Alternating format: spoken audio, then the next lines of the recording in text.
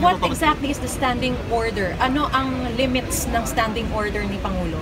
all ano ang uh, all uh, investigation uh, to be conducted on uh, police and military actually uh, pertaining to human rights violation has to be cleared.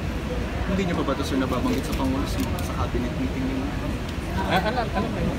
Alam niyo na to, pero wala pa siyang desisyon. Oh, hindi, stick to the instruction.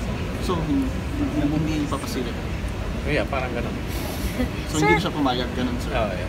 Ano ibig sabihin nito? Ah, We, we can help in, uh, we'll, we'll find uh, other ways na to help the, ano, the CSR in their effort.